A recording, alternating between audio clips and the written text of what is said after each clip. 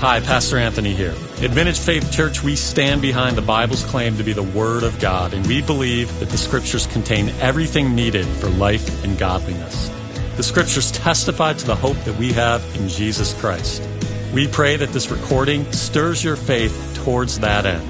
This is in no way meant to be a substitute for the local church gathering, which we believe is critical to your growth as a Christian and your walk with Christ. We pray that you will find the sermon edifying and challenging.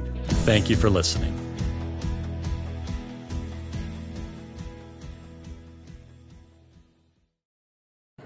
So, if you were with us, uh, and I know many of you weren't, but four years ago we preached through Genesis 1 to 11. Um, Genesis 1 to 11 is often called the primeval history. It, it reads different than the rest of Genesis. Um, to give you an idea, Genesis 1 to 11, uh, depending on how you, you slice it and where you start, but it, it's roughly um, considered to be about a 2,000 year time span um, from 1 to, to up and to the point that the Tower of Babel, which we, we just read after the Babel. Genesis 12, which is really where this sermon series starts, to Genesis 22. So we're looking at how, how many chapters is that? I'm thinking 10, but is it 11? But you can do the math. Um, that is 25 years.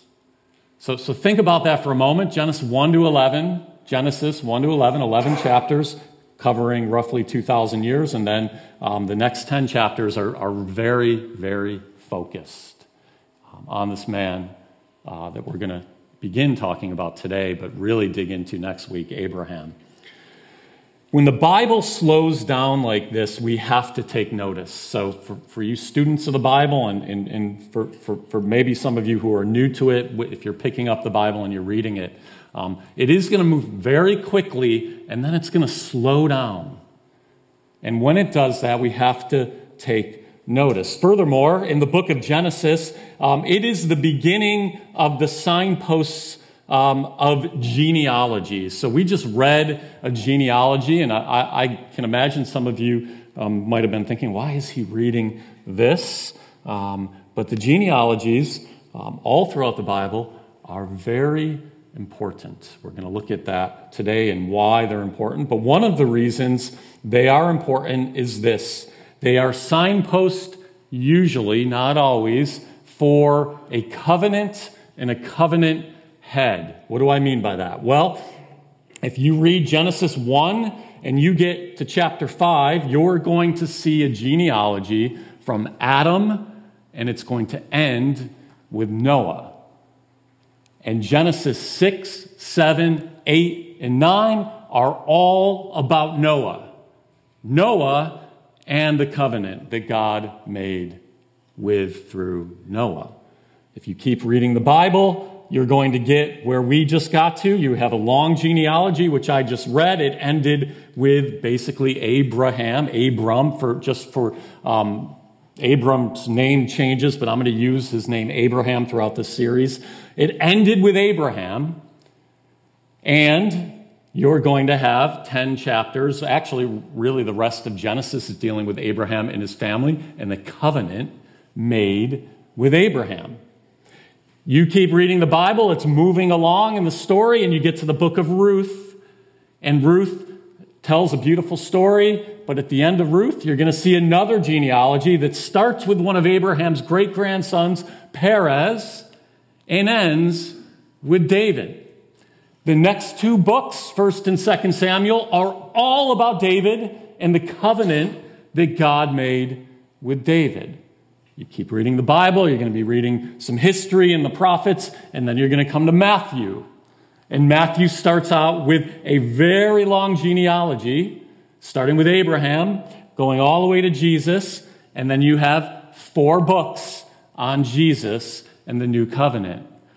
Covenants are a way to think through the unity of the scripture. God is doing something through these covenants.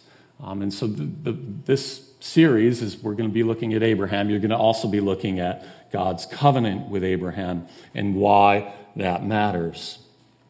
The book of Genesis is historical. However, it does not read like we read historical books. Um, it, it certainly is recording history, but it's not answering the questions that, that we in our modern um, minds are asking. Like, how does who marries who? Uh, what, what, why is this not in the right order? And it, it's not meant to give us a chronological, historical um, view of things. The book of Genesis is concerned with questions like this How did we get here? How did we get here? If you, if you know God, you know Christ, you have an answer to that, but most of humanity doesn't. Or they've come to another conclusion. Genesis 1 1 says, In the beginning, God created the heavens and the earth. Right there. That, that's the, the point of, of, of the early chapters of Genesis. In the beginning, God. It all starts with God. You want to know what all this, you know, the trees, the mountains, the oceans, all the birds, all of it, where is it from? It's from God. And in Genesis unpacks that. So, how did we get here? And these are questions of identity. Who am I? The other question that, that I think Genesis speaks to why are we here? Why are we here? Have you ever asked that question? What, what is my purpose? Why, why am I here? What am I to do with the, the years that the Lord gives me? Or maybe you're in here and you don't know the Lord. What am I to do with the years that, that I have? Maybe they're 30, maybe they're 60, maybe they're 80, maybe they're 90, but they're few. What do I do with that time? Genesis 1:28 is pretty clear about this. First of all, we're made in the image and likeness of God. You are made to represent God. 128 and it says God blessed them, Adam and Eve. And God said to them, "Be fruitful and multiply and fill the earth and subdue it." and have dominion over the fish of the sea and over the birds of the heavens and over every living thing that moves on the earth. So, why are we here? Are we here just to enjoy ourselves and have experiences and have fun? Well, well, God has given us those things as gifts, but He's also given you a, a mandate to, um, to, to move upon the earth in a way that you are um, stewarding, that you're subduing. This is really work. Doesn't mean that you necessarily get paid for it, but it's, it's work. You are made to, to, to, to work to steward, to have dominion, to take dominion over creation. Steve did a wonderful job last week of connecting that to the Great Commission, and that's not um, part of this sermon, but that, that, in a sense, is, as Christians, what we are doing now. We are spreading, making disciples, multiplying, um, and increasing uh, God's image throughout the world. So, why are we here?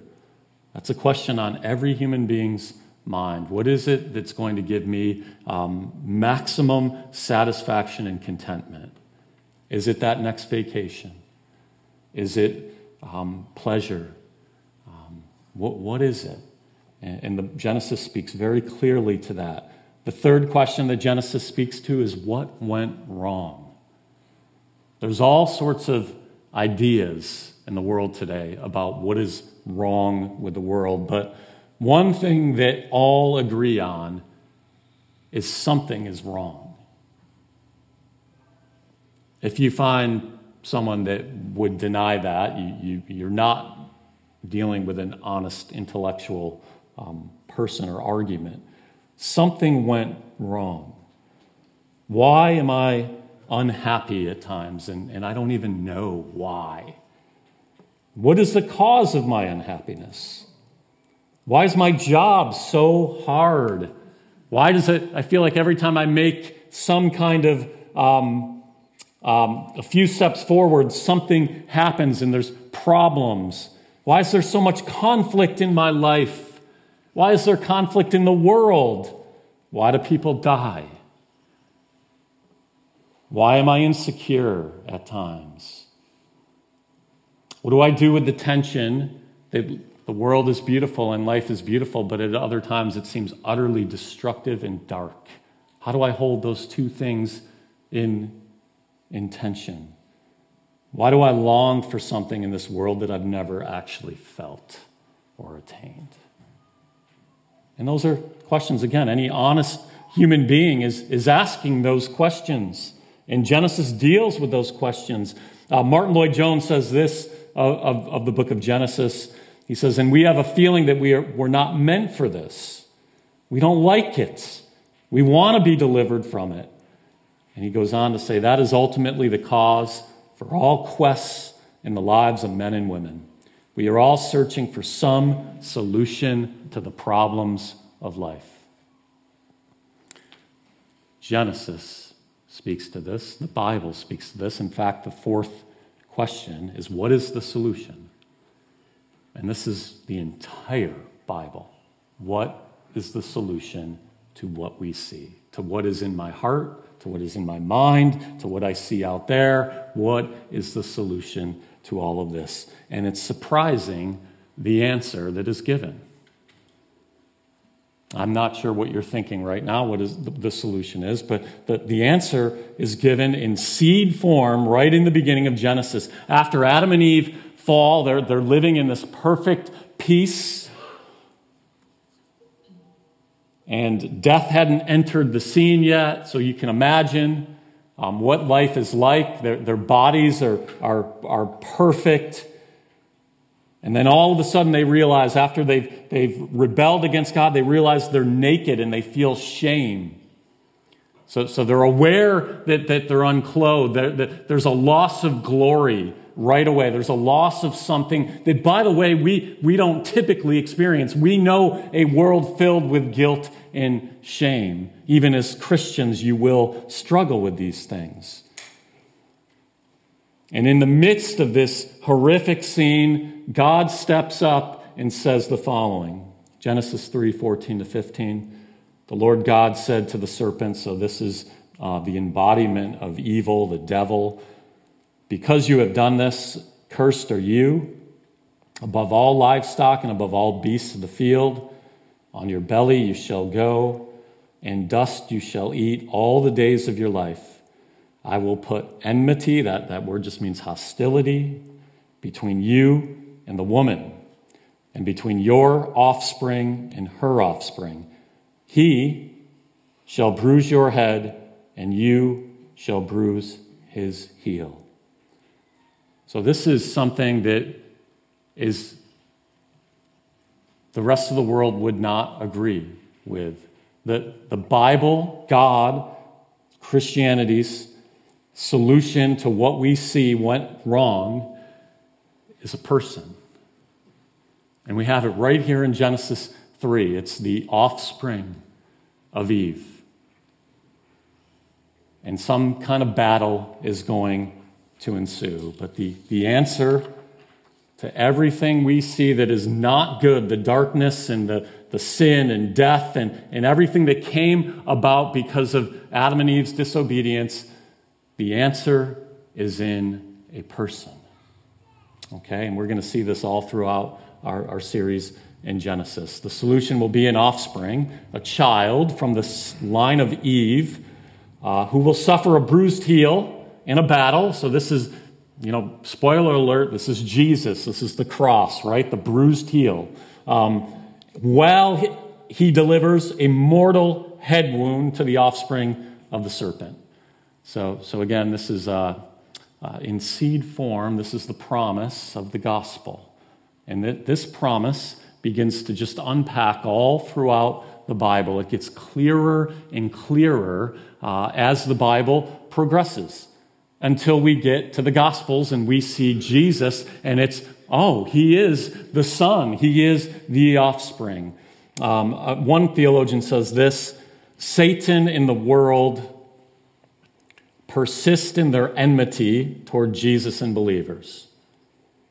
The world hates Jesus and his people.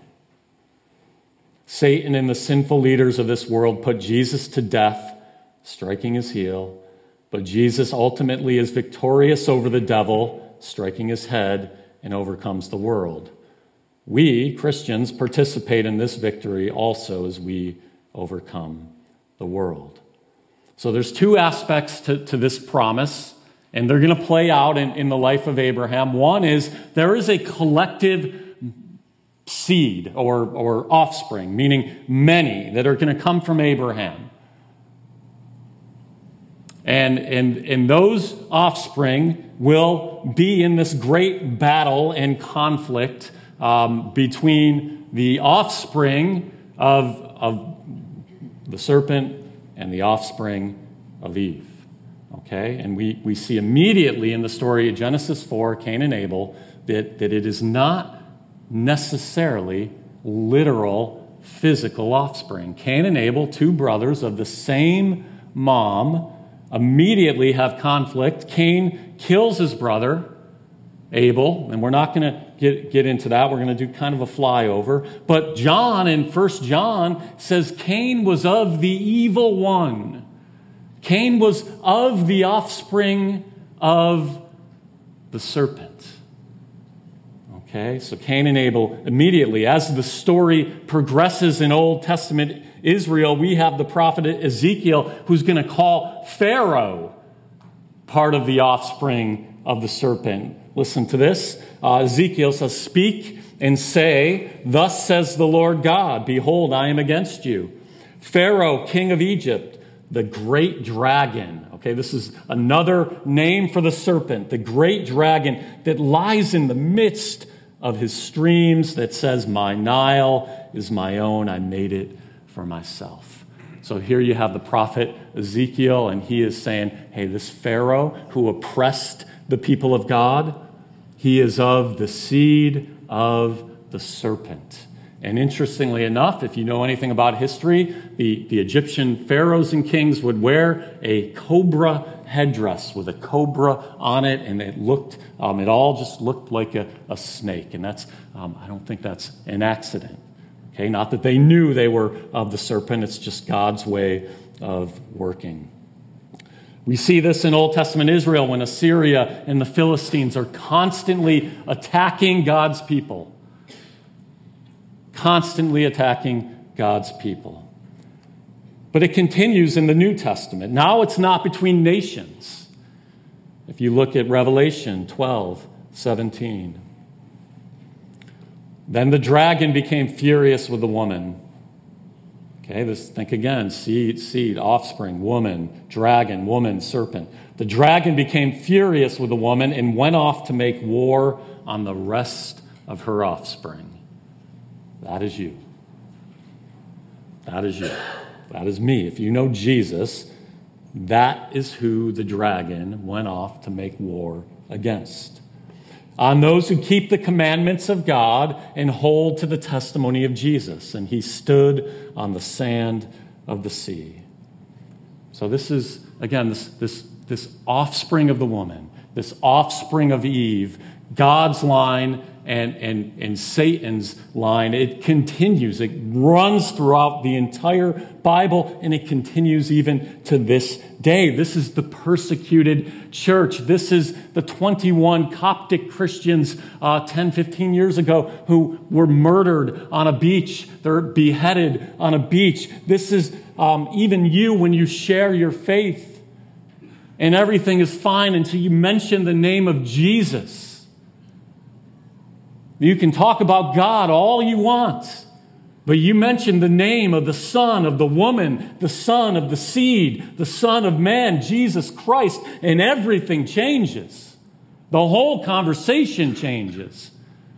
That is because you are in the midst, and I am in the midst of an epic battle that we can't even see between the seed of the woman, the offspring of the woman, and Eve, God's people, and the offspring of Satan um, those who are against God, those who reject God.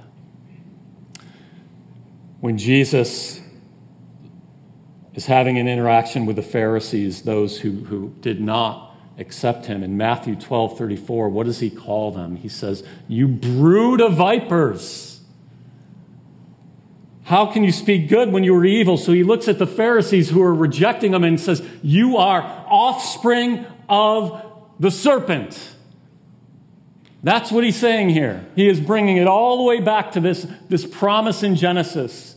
You are offspring of the serpent, you brood of vipers. John 8, he does something similar. same arguments. Those who are trying to trap him, he says, You are of your father, the devil. You're of your father, the devil. You are offspring of the serpent. And again, this, this theme runs from Genesis to um, Revelation. And, and John and First John has a warning to, to Christians, another element that we, we need to, to be aware of. And he says, um, Don't be like Cain, who was of the evil one.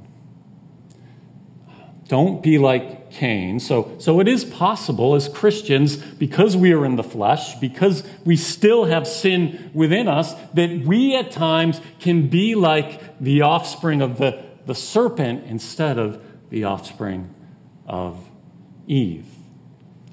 And John says, Don't be like Cain. And that warning still stands to us today. And I would ask you this morning in your life, think about just a week. Maybe you don't have to think about a week. Maybe it's just this morning. How have you gone about your life where you are imaging the serpent more than you're imaging the Son? And, and if you need me to flesh that out a bit, um, how about this? Uh, have you stretched the truth? Because he's a liar.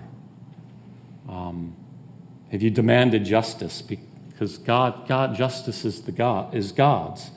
Have you sought revenge? Have you manipulated? Have you taken what isn't yours? He's he steals. Have you slandered people without the whole story? That's the enemy. How have you imaged the enemy, the seed or offspring of the serpent, more than Christ? And we all have to check our own heart here. So there is an epic battle going on. And, and, and if you were here uh, two weeks ago, we talked about just this unseen realm um, of, of angels and demons, and, and it's playing out um, on earth. This epic battle between the two offsprings. But this promise is more, and I will say more, it's not just, but it's more about one offspring.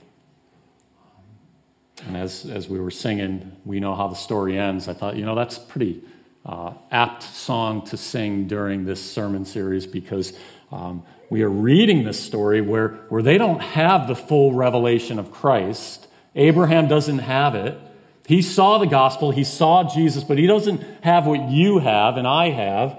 So we know how the story ends, and we, we are going to read through the early chapters of Genesis with that in mind. Play, praise God. What a blessing that we get to do that. So there is um, an element of this idea of the offspring of the woman that means one.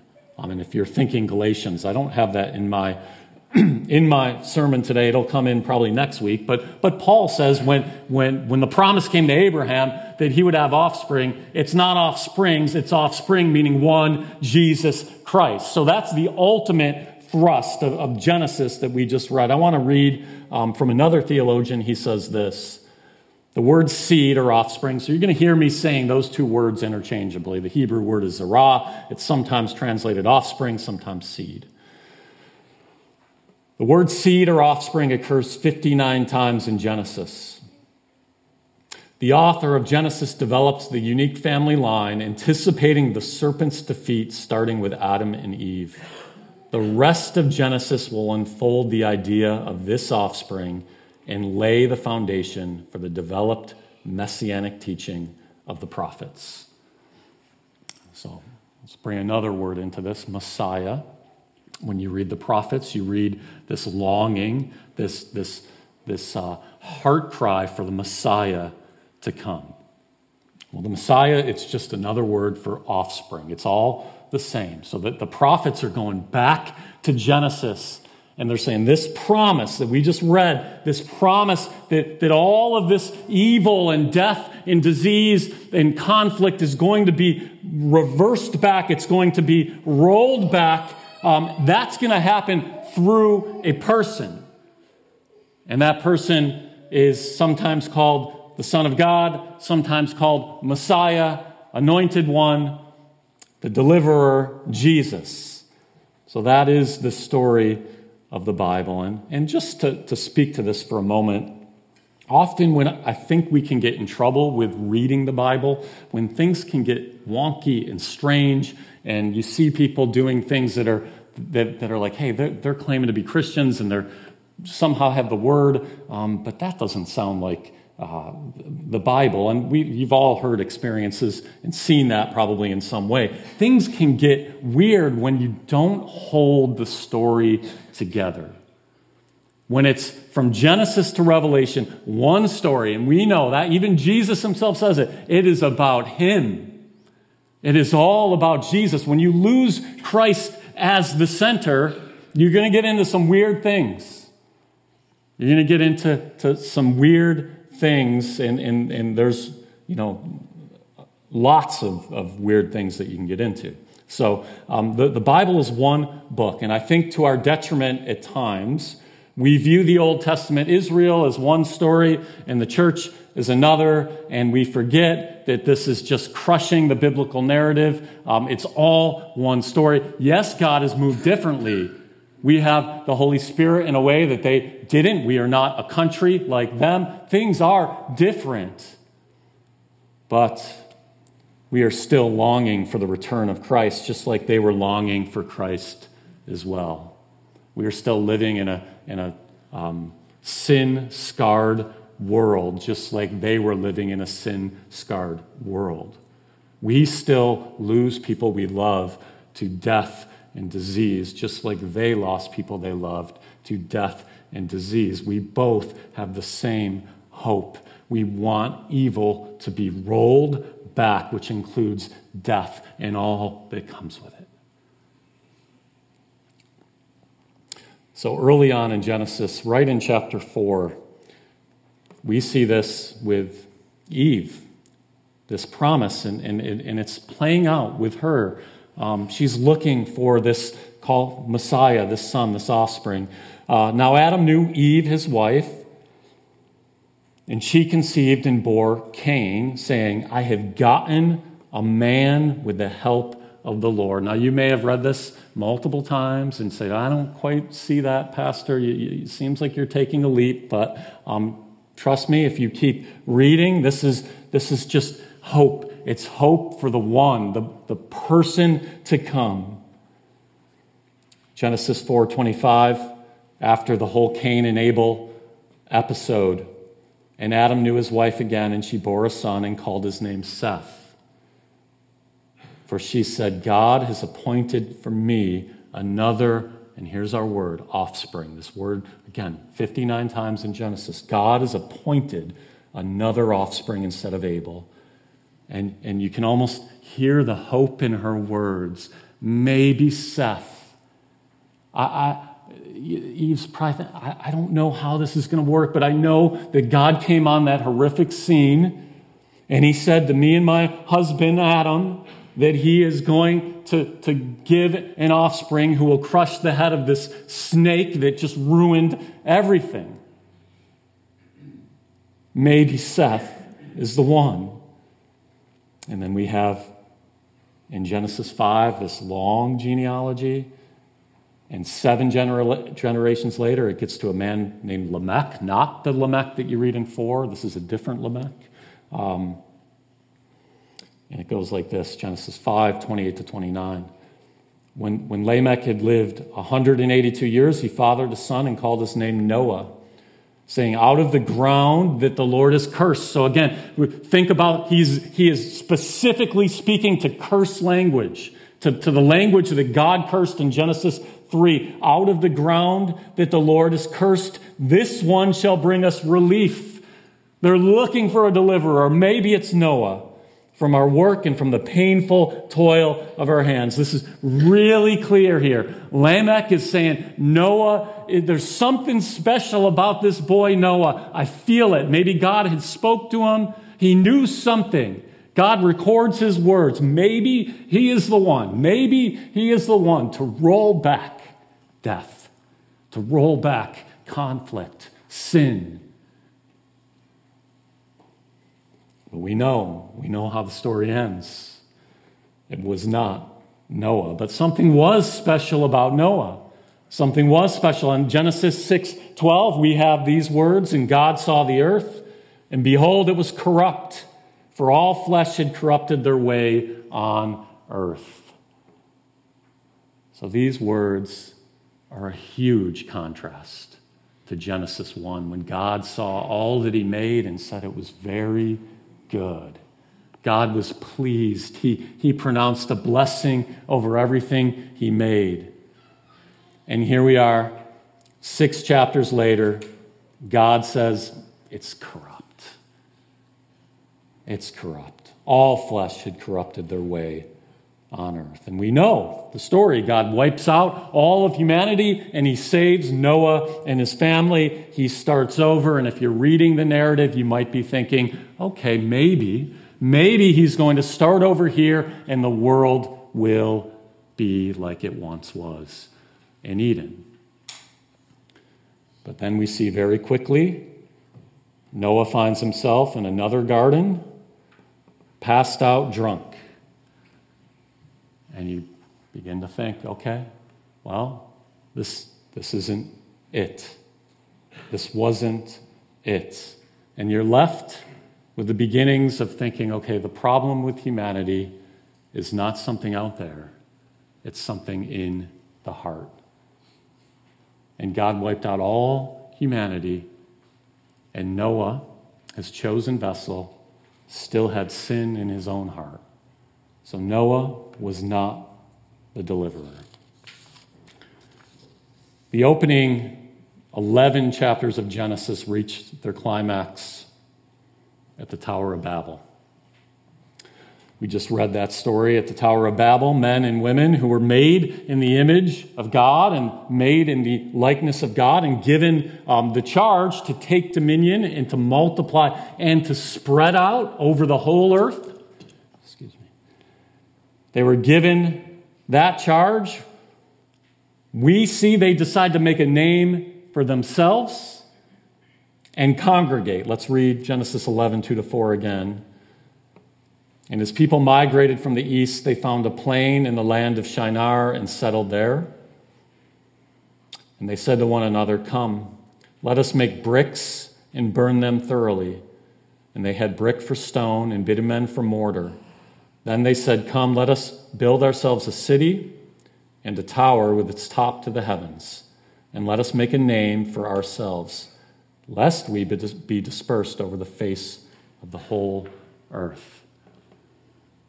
So again, here we are after Noah, after the flood, after Noah's failure, just a few chapters later, men and women just disobeying God. And, and, and what are they doing? They're, they're all about their own glory. We're not going to do what you said to do, Lord. You told us to fill the earth. We're going to congregate in one place. And you heard the genealogy that ends with Abraham. So this is the beginning of, of all of our context for what we will begin um, next week. But just to, to kind of sum, sum it all up, Abraham comes onto the story after the tragic fall in the garden, a worldwide flood, and the curse of confusion and judgment of dispersion on all the nations. If you're reading Genesis 1 to 11 carefully, at this point, the story you are longing for, the hope that you are longing for, this return to Eden, you're losing all hope after Genesis 11. You're losing hope. And we're given another genealogy, which we read, and this time it's Noah's son Shem. So again, the, the genealogy is unbroken from Adam to Seth to Noah to Shem, and then to Abraham's father, Terah. I'm going to read that again Genesis 11, 26 to 32. When Terah had lived 70 years, he fathered Abram, Nahor, and Haran. Now these are the generations of Terah. Terah fathered Abram, Nahor, and Haran, and Haran fathered Lot. Lot's a, a character that's going to come into the story. You're going to hear a lot about him. No pun intended. Uh, Haran died in the presence of his father Terah in the land of his kindred, in Ur the Chaldeans, and Abram and Nahor took wives. The name of Abram's wife was Sarai, and the name of Nahor's wife Milcah, the daughter of Haran, the father of Milcah and Iscah. And here's a really important sentence. Now, Sarai was barren. She had no child. So we're going to tuck that away. If you're a note taker, that's a big one right there. Sarah was barren. She had no child. Terah took Abram, his son, and Lot, the son of Haran, his grandson, and Sarai, his daughter in law, his son Abram's wife, and they went forth together from Ur of the Chaldeans to go into the land of Canaan. But when they came to Haran, so he's got a son, Haran, and there's a place, Haran, they settled there. The days of Terah were 205 years, and Terah died in Haran. So Genesis 11 ends with the death of Abraham's father. Next week is going to begin with the call of Abraham. And you're going to be thinking as you go through next week and the weeks to come, the, the question that, that Moses, who's the author of Genesis, wants us to be thinking about how will all the families of the earth be blessed in Abraham? That's, again, that's next week, kind of jumping forward. But how?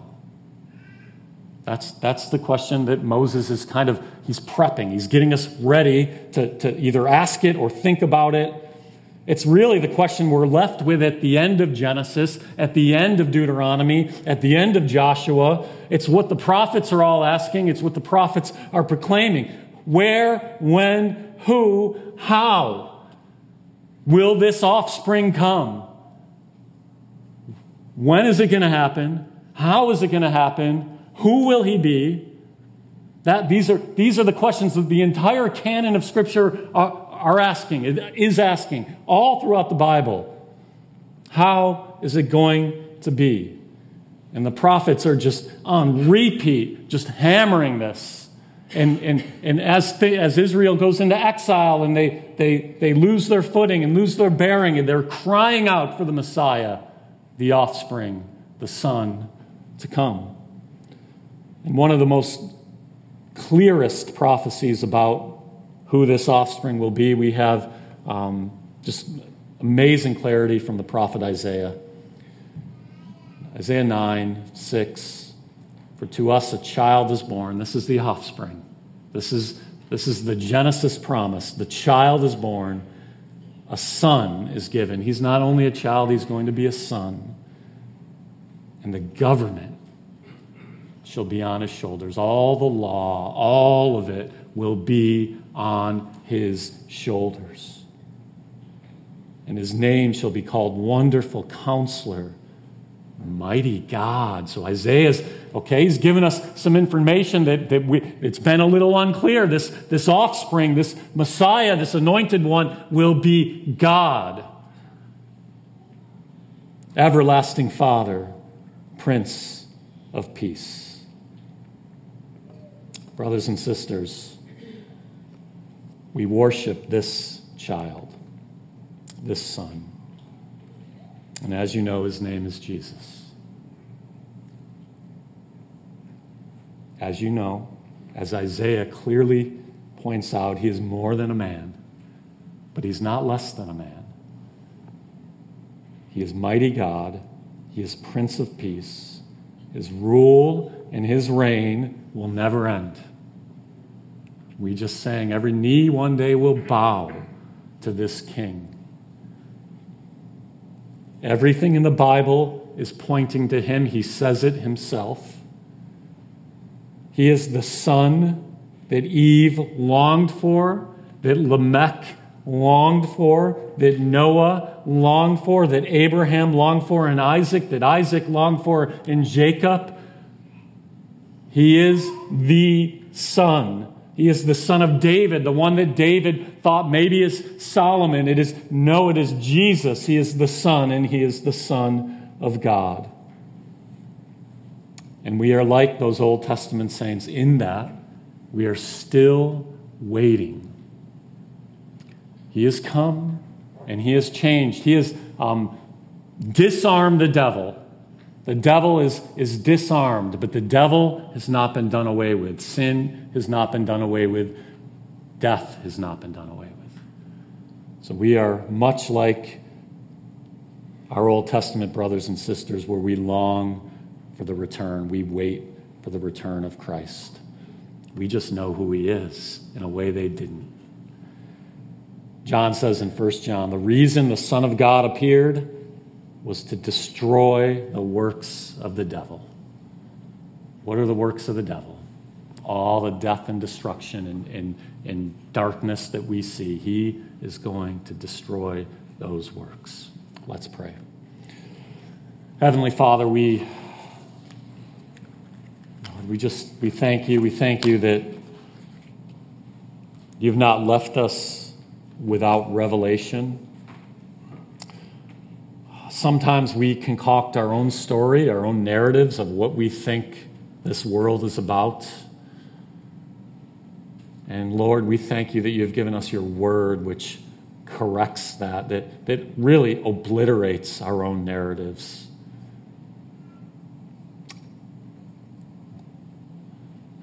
Lord, we, we live in this in between time between your first and second coming, and we have your Holy Spirit, and we have a power available to us, but there is a day coming when this will all be changed.